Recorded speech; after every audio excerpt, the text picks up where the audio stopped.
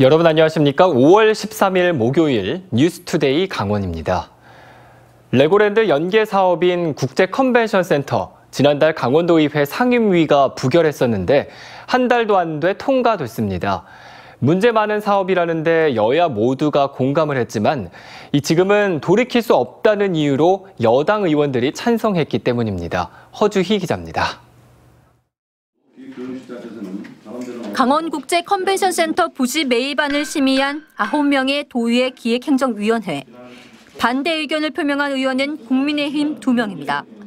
컨벤션 센터 부지라고는 하지만 멀린과의 협약 이행을 위해 사실상 레고랜드 임시주차장을 짓는 데 동의할 수 없다는 겁니다.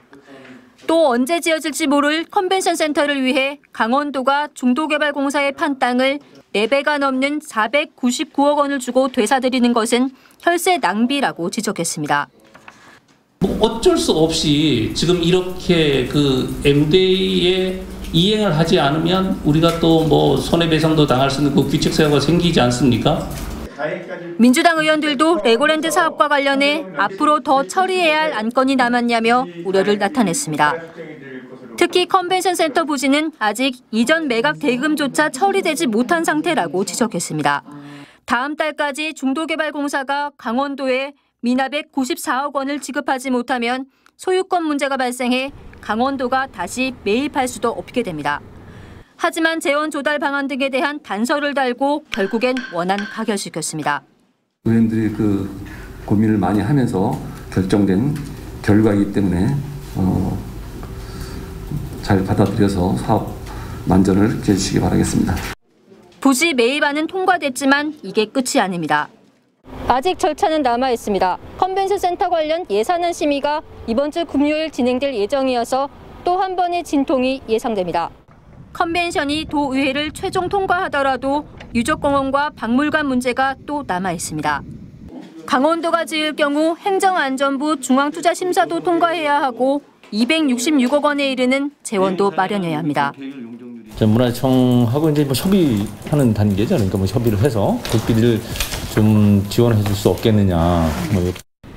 정의당 강원도당과 시민사회단체는 최문순 지사는 물론 정파적 결정을 내린 민주당 도의원들에게 책임을 묻겠다는 비판 성명을 냈습니다. MBC 뉴스 허주입니다. 8년 동안 저렴하게 임대 아파트에 살 수 있다며 조합원을 모집한 협동조합 대표가 지난해 돌연 잠적했습니다. 조합원이기도 한 임대 계약자들은 수천만 원의 계약금을 고스란히 날리게 됐는데요. 계약금을 돌려받지 못한 피해자는 파악된 것만 80명이 넘습니다. 김진아 기자입니다. 원주시 단구동에 600여 세대의 민간형 임대 아파트를 짓겠다던 한 협동조합. 이미 사업 부지의 70%를 매입했고 대형 건설사가 참여한다며 조합원 겸 임대 세입자를 모집했습니다. 현대에서 이제 공사를 하는데 임대 아파트라고 하면은 우선 자격 조건이 굉장히 까다롭잖아요. 근데 여기 임대 같은 경우는 그런 임대가 아니고 팔만 살다가 분양을 받을 수도 있고 이거는 전세를 놓을 수도 있고. 조합원 출자금과 계약금 등의 명목으로 1,600만 원에서 많게는 3,300만 원까지 받아 챙겼지만 몇 달 뒤인 지난해 봄 주택 홍보관을 폐쇄하고 돌연 잠적했습니다. 상대적으로 긴 편인 임대 기간 8년에 현혹된 서민들이 주로 피해를 입었습니다.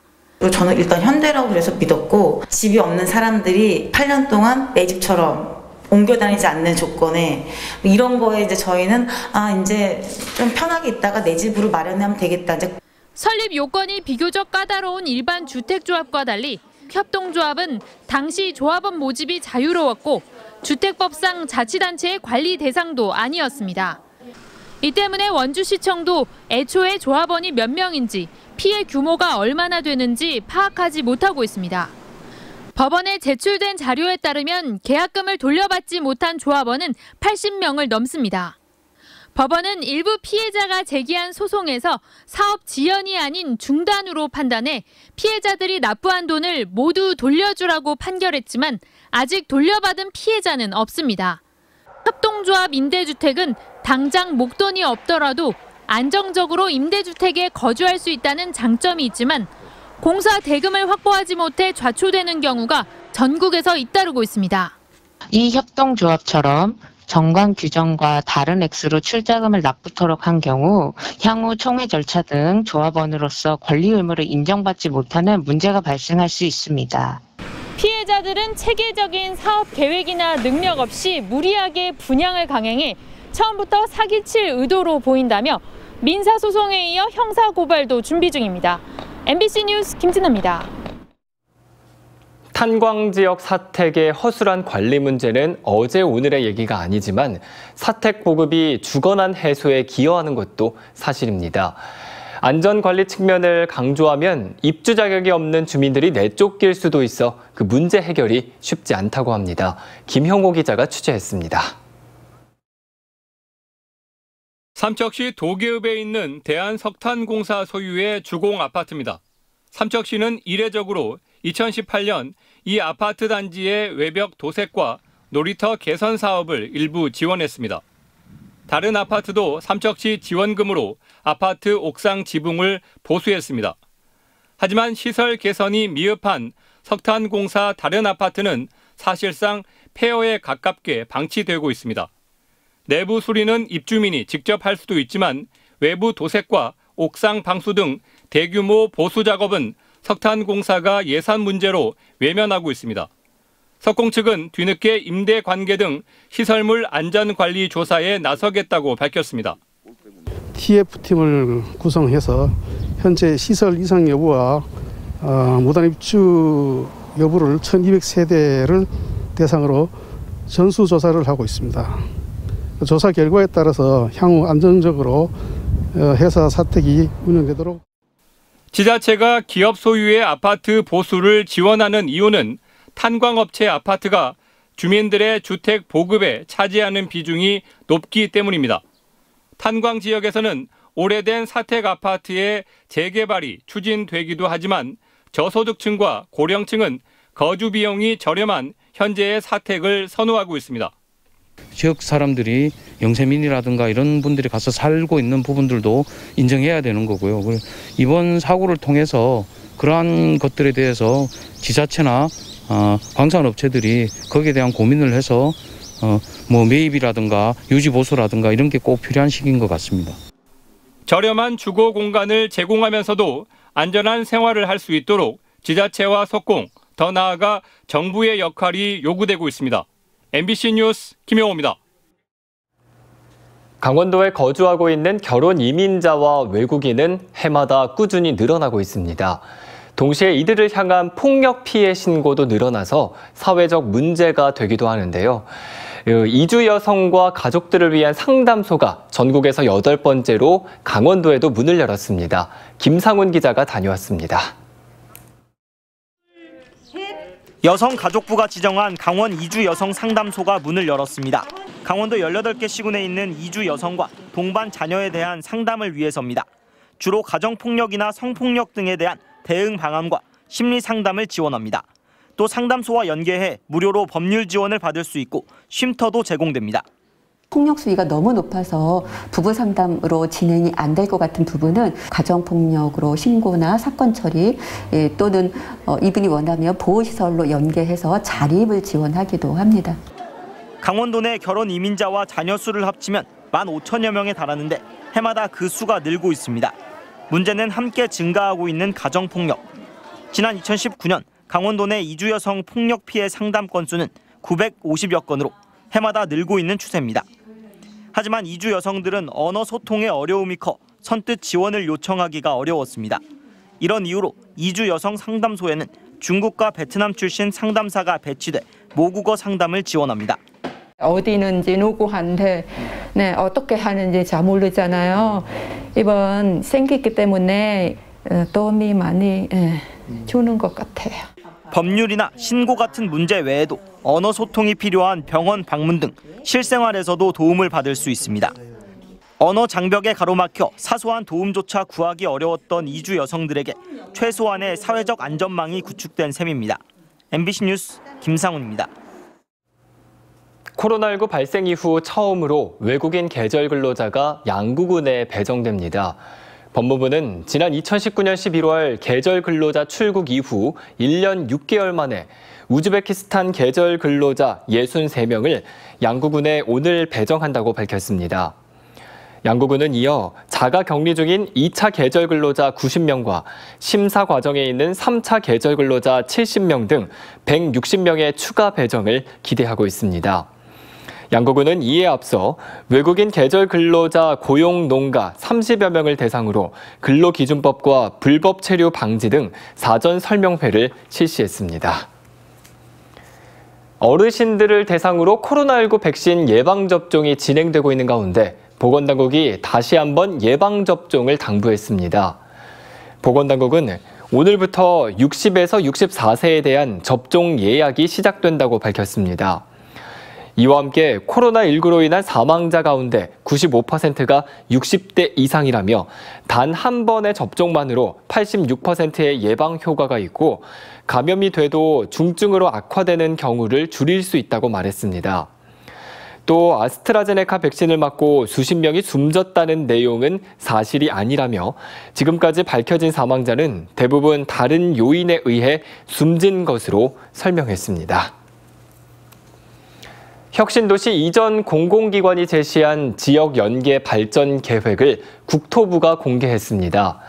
원주 혁신도시의 경우 건강보험공단이 고령 친화용품 실증연구센터를 구축해 지역 의료기기 업체의 기술 개발을 지원하고 실버 의료기기 메카를 조성할 계획입니다. 광물자원공사는 도내 광산업체를 대상으로 국내 자원산업 융자 지원과 고용 장려금을 지원할 계획입니다. 또 국립공원공단은 설악산의 생태체험, 교육 인프라를 조성하고 치악산의 유휴시설을 고쳐 체류 인프라를 구축할 계획입니다. 한편 지역 주민들이 궁금해하는 지역 인재 채용이나 주민 지원, 물품 우선 구매 계획 등은 국토부가 공개를 거부하고 있습니다. 원주 치악산 둘레길이 5년여에 걸친 공사를 마치고 오는 20일 개통합니다. 치악산 둘레길은 치악산 국립공원을 중심으로 원주시와 횡성군, 영월군에 걸쳐 11개 코스, 총 연장 139.2km 규모의 도보 여행길입니다. 이에 앞서 지난해 원주시는 43억 5천만 원을 들여 총 연장 400km, 30개 코스로 구성된 원주 구빗길도 조성했습니다. 치악산 둘레길과 원주 구빗길은 등산로와 샛길, 임도와 마을길 등 기존의 길을 연결하고 최대한 수평형, 무장의 숲길로 만들어졌습니다. 속초시는 안전진단에서 문제가 드러난 설악교에 대한 통행 금지 조치를 내렸습니다. 속초시는 최근 실시한 정밀 안전 점검에서 미흡 단계인 D등급을 받은 설악교에 대해 오는 17일부터 차량 통행을 금지시켰습니다.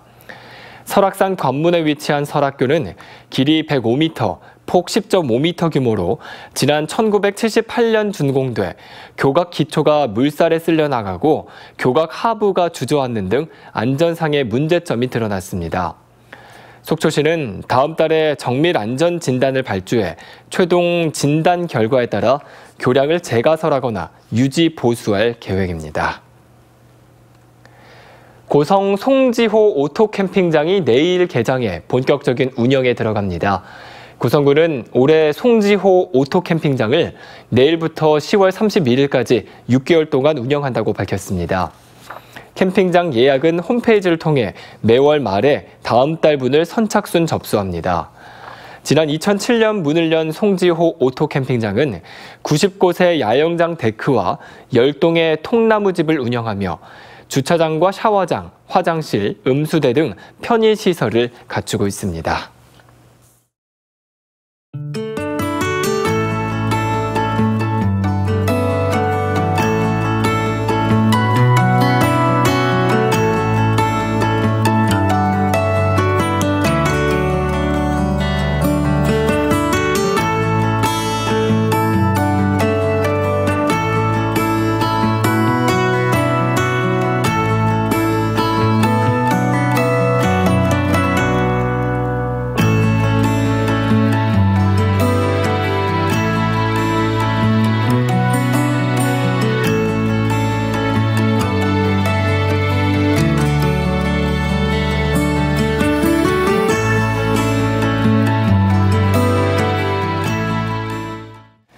강원FC가 후반 추가 시간에 통안에 동점골을 내주고 다잡은 승리를 놓쳤습니다. 강원FC는 어제 저녁 춘천 송암 스포츠타운에서 열린 하나원큐 K리그 1 2021 15라운드 울산 현대와의 경기에서 4골을 주고받은 끝에 2대 2로 비겼습니다. 강원은 전반 14분 서민우가 선제골을 뽑았지만 전반 막판 첫 동점골을 허용했습니다. 후반 6분 강원은 김동현이 얻은 페널티킥을 신라지가 성공시키며 다시 앞서갔지만 후반 추가 시간에 울산에 동점골을 내주며 아쉬운 무승부를 기록했습니다. 최문순 도지사가 불법 대북 전단 살포를 중단하라고 촉구했습니다. 최문순 지사는 성명을 통해 최근 북한 탈북민 단체가 강원과 경기도에서 전단과 미화 1달러 지폐를 대형 풍선에 달아 북한에 날려보낸 것은 남북 간 충돌의 원인이 될 뿐만 아니라 접경 지역 주민들의 안전을 위협하는 행위라고 지적했습니다. 이에 따라 정부는 접경 지역 주민의 삶이 위협받지 않도록 불법 살포자를 엄중히 처벌하라고 촉구했습니다. 강원경찰청이 부패방지 권익위법 위반 혐의를 받는 전직 양구군수 A씨를 상대로 구속영장을 다시 신청했습니다. A씨는 군수로 재직하던 지난 2016년 7월 동서고속화철도 양구 역세권 부근에 땅 1,400제곱미터를 1억 6천여만 원에 매입했습니다. 경찰은 A씨가 해당 부동산이 개발될 것이라는 내부 정보를 이용해 투기한 것으로 보고 있습니다. 구속 전 피의자 신문은 오늘 오전 11시 춘천지방법원에서 열릴 예정입니다. A씨가 구속될 경우 전국 전현직 지자체장 가운데 부동산 투기 사범으로는 첫 사례가 됩니다. 인제에서 일면식 없는 50대 등산객을 흉기로 살해했던 20대가 2심에서도 무기징역을 선고받았습니다. 서울고법 춘천재판부는 살인 혐의로 1심에서 무기징역을 선고받은 24살 이모 씨의 항소를 기각했다고 밝혔습니다. 재판부는 피고인의 심신장애 주장에 대해 이 씨가 꾸준히 살해 욕구를 키웠고 범행 도구까지 마련하는 등 계획적인 모습을 보였다고 밝혔습니다. 이상으로 뉴스투데이 강원을 마칩니다. 함께해 주신 여러분 고맙습니다.